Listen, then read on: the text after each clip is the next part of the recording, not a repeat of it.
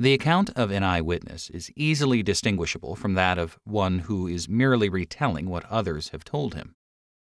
Anyone who is accustomed to weigh evidence in court or in historical study soon learns how to distinguish the account of an eyewitness from mere hearsay evidence. Any careful student of the gospel records of the resurrection will quickly detect many marks of an eyewitness.